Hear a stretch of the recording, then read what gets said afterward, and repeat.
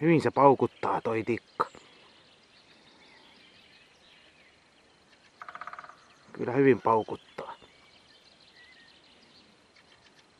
Otetaan nyt käsi varalla eikä viitti ottaa tuota kolmijalkaa käyttöön, vaikka se tuossa mukana onkin.